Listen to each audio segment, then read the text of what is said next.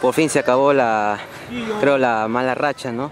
Se pudo ganar 5 a 2 en este partido, aunque también fue un poco complicado para el cuadro. Bueno, sí creo que ya era hora de, salir de esta, de esta mala racha que hemos tenido dos partidos que en el papel son, son ganables, lo hemos empatado por un error de nosotros, pero creo que hoy día decidimos jugar, salir al campo con otra mentalidad y creo que eso se ve reflejado, ¿no? aunque como tú dices en el segundo tiempo ya nos dejamos de estar un poco y, y eso nos, nos- nos pasó a altura que nos hagan los dos goles.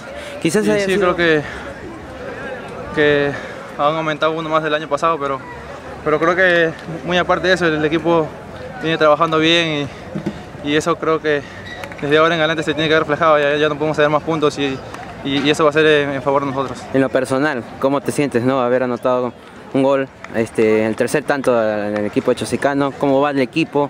No sé cómo van los muchachos, cómo, se van en- cómo están internamente, ¿no? Porque saben que ahora, desde ahora, hay que ganar todos los partidos para clasificar a lo que es la fase Interligas.